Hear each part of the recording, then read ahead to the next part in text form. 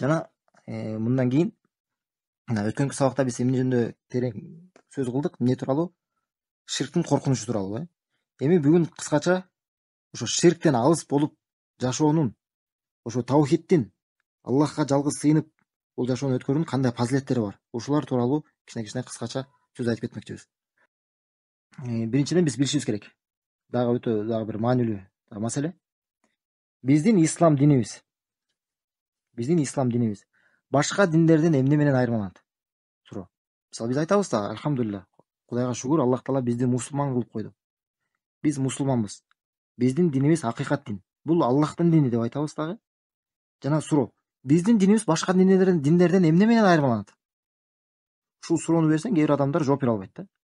Биздин динибиз ушул нерсе менен айырмаланат биз мына сөз кылып азыр сөз кылып аткан ушул маселелер ширк ушул нерсе менен биздин динибиз башка диндерден айырмаланат. Биздин динибиз жалгыз аллахка сыйынууга ширктен алыс болууга аллахтын акысын аткарууга ушул нерсеге чакырат биздин дин. Ал эми башка диндер эмнеге? Эмнеге алар адашкан дин? Анткени алар аллахтын акысын бузат алардын дини мисалга карасаңар элестетсең мына христиан аларда кандай? Алардын өзүнүн жанагындай он осуяты бар э десять заповедей деп коет. Ана не убий не прелюбодействуй өлтүрбө зына кылба жана башка мисалы э, аларда да бар жанагы жакшылык кыл башкаларга. Алардын адеп ахлактары кандай кандай шумдук адеп ахлагы бар да? Мисалы эмне деп айтышат? Эгерде бир бетиңе урса экинчи бетиңди тосуп бер дейт да. Буддисттер жанагылар башкалар. Алардын баары тең эмнеге чакырышат жакшы болгула адамдарга карата жакшы болгула э, жумшак болгула туугандык мамилени бекемдегиле ата энеге жакшы мамиле кылгыла деп бүт баарын ушунун баарын чакырат туурабы эгерде биз дагы мусулман болуп туруп исламга чакырабыз деп туруп биз деле ошол нерселерге чакыра турган болсок жакшы болгула жумшак болгула ата энеге жакшы мамиле кылгыла кошунага жакшы мамиле кылып ушул нерселерге чакыра берсек анда биздин айырмабыз эмне алардан. Анда биз эмнеге биз акыйкат динбиз эмнеге алар анда адашкан дин болуп эсептелет эмнеге аллах таала аларды азаптап бизди бешикке киргизиш керек. Ошондуктан биз бул нерсени түшүнүшүбүз керек. Биздин дин башка диндерден эмне менен айырмаланат мына ушул таухид менен айырмаланат таухид ширк маселеси менен анткени биздин дин динде аллахтын акысын аткарабыз ооба аларда адеп ахлак бар бирок чыныгы адеп ахлак бул аллах менен болгон адеп ахлак. Алар адамдар менен болгон адеп ахлагы бар бирок аллах менен болгон адеп ахлагы жок. Ушуну жакшы түшүнүп алышыбыз керек да. Адеп ахлак же башка диндин башка нерселерге чакыруудан пайда жок. Эгерде биз ушул нерсеге чакырбасак аллахтын жалгызына чакырып ширктен кайтарбасак башка нерселерге чакыруудан эч кандай пайда жок. Мисалы элестетсеңер бир христиан келди мисалы. Мечитке бир христиан адам келди. Келип туруп намаз окуйм деди. Намаз окуп атат. Орозо кармап атат бирок христиан дининен кайткан жок. Барып эле исага сыйынып атат бул менен бирге. Ошол намазынан орозосунан зекетинен башка башка ибадаттарынан пайда болобу? Эч кандай пайда болбойт.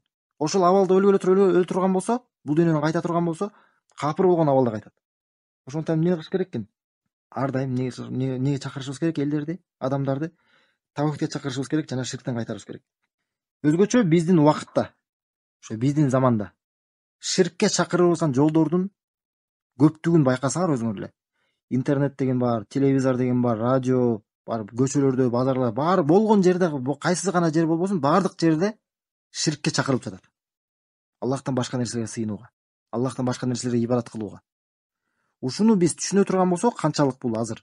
Чоң бул жакта мындай күрөш жүрүп турганынчы мындай ширк менен таухидтин биз мунун таухидке чакыруунун маанилүүлүгүн дагы түшүнөбүз да анан кээ бир адамдар мынтип айтат да силер эмне ширк ширк дей бересиңер ширк ширк дей бересиңер депчи мындай айтып аткан адамдар бул нерсени маселени толук түшүнгөн эмес да кандай бул ширктин коркунучун жана ширктин кандай азыр тараган элдердин арасында тарап жүргөнүн анткени карасаңар адамдардын арасында кандай гана адашуулар кандай гана адашкан ишенимдер ар кандай шек күмөндөр эмненин баары гана тарап жүрөт элдин арасында. Ошол нерселерди кантип жок кыла алабыз? Бир гана эмне менен ушул дават аркылуу бир гана аларды адамдарга таухидти жеткизүүдө жеткизүү менен. Туура аллахка ишенимди жеткизүү менен. Жана ширктен алыс болуу жана ошо ширк эмне экенин анын коркунучун жеткизүү менен гана бул нерселерден айрылып бул нерселерди элдерден тазалай алабыз. Дагы маанилүү нерсени биз билишибиз керек. Өткөнкү сабакта айтып аттык э. Кайсы бир адам ширк кылып жүрө турган болсо ширк кылып жүрүп бул дүйнөдөн кайта турган болсо болгон баардык жакшылык иштери болсун. Өмүр бою намаз окуп жүргөн болсун зекет берип жүргөн болсун башка башка ибадаттардын баарысы болбосун ширк чоң ширк кылып жүргөн болсо эмне болот? Андан тобо кылбай бул дүйнөдөн кайта турган болсо түбөлүк тозокко кирет. Далилдердин негизинде мунун баарына өткөндө далилдерди эскердик. Түбөлүк тозокко кирип калат дагы ал жактан чыкпайт. Жана бейишке баруусу арам болот. Жана ошол кылган иштеринен эч бир пайда албайт деп айттык. Бул кайсы адам? Ширк кылып жүргөн адам намаз окуса дагы зекет берсе дагы башка башка ибадаттардын баарысы болгон болсо дагы адеп акылагы эң жакшы болгон болсо дагы.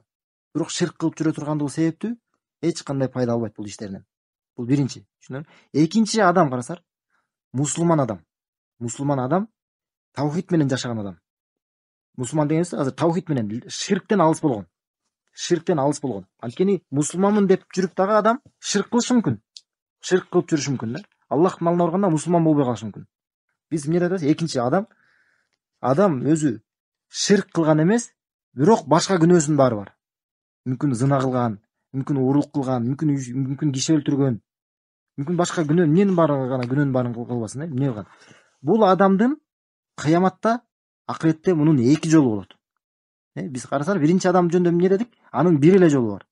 Ширк кылган адам. Кандай гана жакшылыктары болбосун жакшылыктары болгон болсо анын бир эле жолу бар экен тозокко барат дагы чыкпайт ал эми бул адам карасаңар ширк кылган эмес бирок башка күнөөлөрдүн баары болгон мындай адамда эки жол болот эки жол. Эмне болот биринчиси же аллах таала аны түзмө түз бешикке киргизип коет ошо кылган күнөөлөрүн кечирип туруп. Анткени аллахтын кечирими өтө чоң да. Аллах таала аны кечирип туруп ошо кылган күнөөлөрүн анын канчалык көп кандай көп болбосун анын баарысына карабай эле аллах таала кечирип туруп аны түзмө түз бешикке киргизип коет бул биринчи жолу. Экинчи жол аллах таала ошол адамды ошол күнөөлөрү себептүү күнөөлөрүнүн оордугу себептүү тозокко киргизет жана ал жактан тазаланат бирок эртеби кечпи баары деле тозоктон чыгат. Эмне экен ошол адамдын эгерде ширк кылбаган болсо эмне гана күнөөлөр болбосун баары деле акырында бара турган жери бейиш болот. Кандай гана тавхиддин фазилети. Эми буга далил кандай? Тирмиди ошо хадистерди жыйнаганда сах хадисте келген аллахтын элчиси саллаллаху алейхи вассалам айтат аллах таала айтты дейт. Аллах таала айтты дейт. Э адам баласы я адам дейт да эй адам баласы لو أتيتني بقراب الأرض خطايا ثم لقيتني لا تشرك بشيئا لأتيتك بقرابها مغفرة эй адам баласы дейт аллах таала эгерде сен мага жер шарынчалык земной шар ушундай жер толтура ушундай ушундай толоо күнөөлөрүң менен келе турган болсоң мага элестетсеңиз ушунчалык күнөөнү ким кылат жер шарынчалык дейт ушунчалык көп күнөөң менен келе турган болсоң дейт кыяматта менин алдыма жана бирок мага эч бир нерсени шерк кылбаган абалда мага эч эч кандай шерик кошпогон абалда мага жолуга турган болсоң мен сени ошончолук кечирим менен тосуп аламын дейт. Аллах таала убада кылып атат. Эгерде биз э, кандай гана күнөөнү кылбайлы эмне гана болбосун эгерде адам баласы кандай гана күнөөлөрү менен аллахтын алдына барган болгон болсо аллах таала эмне деп атат? Убада берип атат. Ошо күнөөңдүн баарын кечирип коем деп атат. Бирок эмне? Бир шарт менен. Кандай кандай шарт? Эгерде аллах таалага эч нерсени ширк кылбаган болсо нерсени ширк кылбаган